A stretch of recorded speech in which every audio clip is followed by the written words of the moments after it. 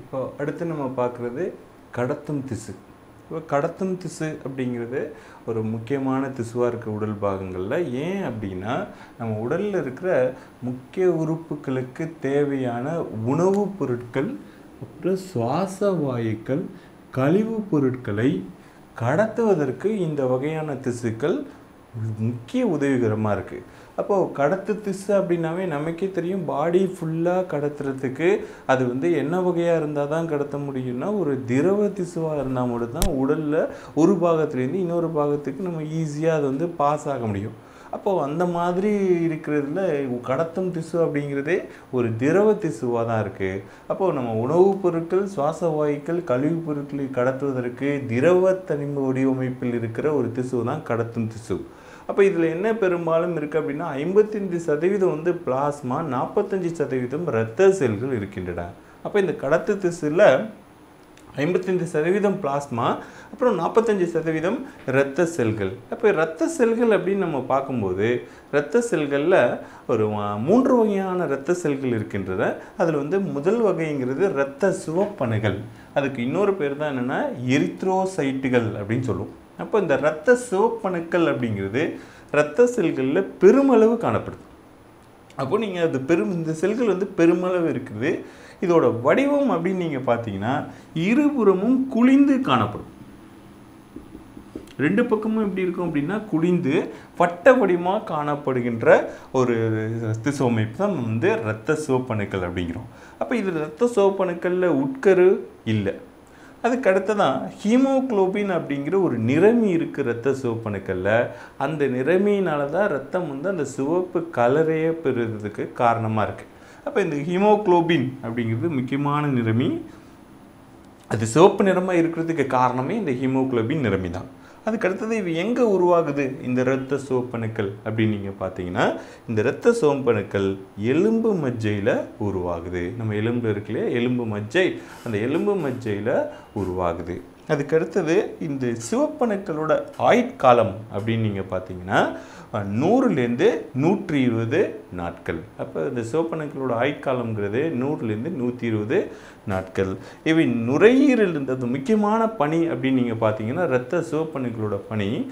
நுரையீரலிலிருந்து எல்லா பாகங்களுக்கும் ஆக்சிஜனை கடத்துது. ஏன்னா ஆக்சிஜன் நம்மளோட சுவாசத்துக்கு மனித சுவாசத்திற்கு மிக முக்கியமானது ஆக்சிஜன் தான். அந்த ஆக்சிஜனை உடலில் இருக்கின்ற எல்லா பாகங்களுக்கும் எடுத்து செல்வது இந்த இரத்த சிவப்பணுக்கள் தான். இது முக்கியமான பங்கு.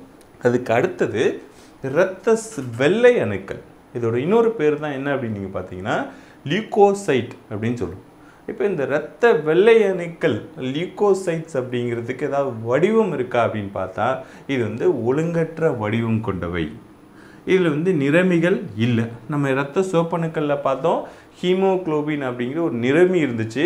அதனால அது சிவப்பு கலராக இருந்துச்சு. இவை இரத்த வெள்ளை அணுக்கள் இவை வந்து வெள்ளை அணுக்கள் நம்ம சொல்லிட்டோம். அது கலராக இருக்கிறதுக்கு வாய்ப்பு இல்லை நிறமிகள் அற்றது.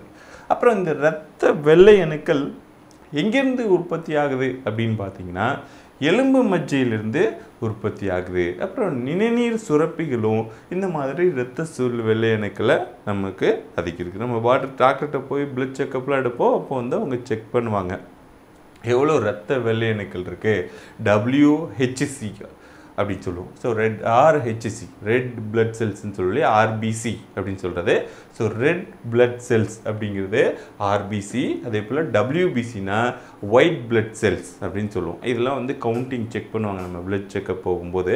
அப்போ வந்து இந்த அணுக்கள்லாம் குறைவாக இருந்துச்சுன்னா நமக்கு வந்து இந்த ரத்த அணுக்கள் உற்பத்தி ஆகுன்றது கொஞ்சம் மாறுபாடு இருக்கும். அதே போல் ரத்த வெள்ளை அணுக்கள் குறைஞ்சிருச்சு அப்படின்னா நம்ம உடம்புல நோய் எதிர்ப்பு சக்தி குறைஞ்சிருச்சு அப்படின்னு மீனிங் ஸோ அதனால் பார்த்தீங்க அப்படின்னா இந்த இரத்த வெள்ளை அணுக்களோட முக்கியமான பணி அப்படிங்கிறது உடலுக்கு நோய் எதிர்ப்பு தன்மையை தருது. நோடு நோ நோய் எதிர்ப்பு தன்மைகளை தரதுனால தான் ஏதாவது வந்து நம்ம உடலில் வந்து கிருமிகள் வந்து நம்ம உடலுக்கு பாதிப்பு ஏற்படாத வண்ணம் உடலை பாதுகாக்கும் பணியை இந்த இரத்த வெள்ளை அணுக்கள் செல்வதனால இந்த இரத்த வெள்ளை அணுக்களோட இன்னொரு பேர் என்ன அப்படின்னு பார்த்தீங்கன்னா உடலின் காவல் படை அப்படின்னு சொல்லுவோம். இந்த இரத்த வெள்ளையணுக்களோட ஆயுட்காலம் அப்படிங்கிறது ரெண்டுலேருந்து மூணு வாரம் தான் இதோட ஆயுட்காலமாக இருக்குது இது நம்ம இரத்த வெள்ளையணுக்களை பற்றி தெரிஞ்சுக்கிற கருத்துக்களாக இருக்குது இதுக்கு அடுத்தது நீங்கள் பார்த்தீங்க அப்படின்னா இரத்த தட்டுக்கள்.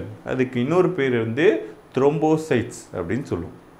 இந்த த்ரோம்போசைட்டுகளோட செ- எப்படி செல்கள் இருக்கும் அப்படின்னு பார்த்தா இருக்கிற ரத்த செல்கள்லேயே அது சிவப்பு அணுக்களாக இருக்கட்டும் வெள்ளை அணுக்களாக இருக்கட்டும் இருக்கிற அணுக்கள்லேயே மிக சிறிய வகையை வந்து சிறிய அமைப்பை கொண்டவை தான் வந்து சிறிய வடிவத்தை கொண்டவை தான் இந்த இரத்த தட்டுக்கள். இவைகள் இரத்த தட்டுக்கள் வந்து என்ன முக்கியமான பணிகள் செய்யுது அப்படின்னு பார்த்தா நமக்கு எங்கேயாவது காயம் ஏற்படும் போது ரத்தம் வெளியிடும். சப்போஸ் ஏதாவது கிழிச்சிருச்சு அப்படின்னு சொல்லிட்டிங்கன்னா உடனே பிளட்டு ரிலீஸ் ஆகுது இல்லையா? அதை ஸ்டாப் பண்ணுறது தான் சொல்கிற ரத்தம் முறைதல். அப்படி ரத்தம் உறையல அப்படின்னா ரத்தம் வந்து உறையுதல் அப்படின்னா இந்த த்ரோம்போசைட்டுகள் கம்மியாக இருக்குது அப்படின்னு அர்த்தம். அப்போ அந்த ரத்தம் உறையணும் உறைஞ்சிட்டுனா வந்து ப்ளீட் ஆகுறது ஸ்டாப் ஆயிரும்.